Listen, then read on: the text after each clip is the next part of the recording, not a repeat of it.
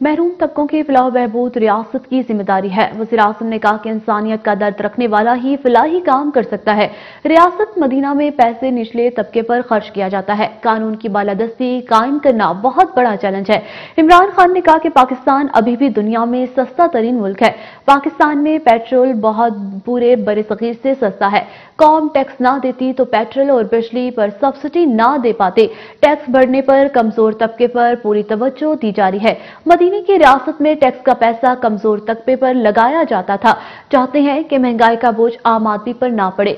गजाई किल्लत भी बहुत बड़ा चैलेंज है। माजी में किसी ने गजाई किल्लत पर तवज्जो नहीं दी।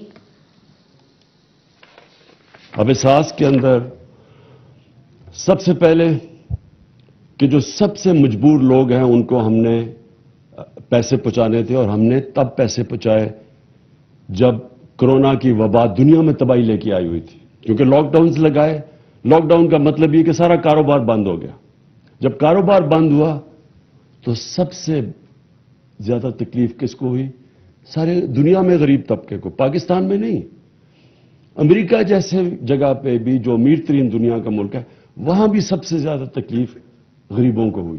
तब हमने ये जो एहसास का जो जो डिस्ट्रीब्यूशन की बिल्कुल ठीक कहा गया ये कि वर्ल्ड बैंक ने एक्नॉलेज किया कि पाकिस्तान वो मुल्क है जिसका जो प्रोग्राम एहसास का था, वो दुनिया में टॉप या तीन या चार प्रोग्राम्स के अंदर माना गया।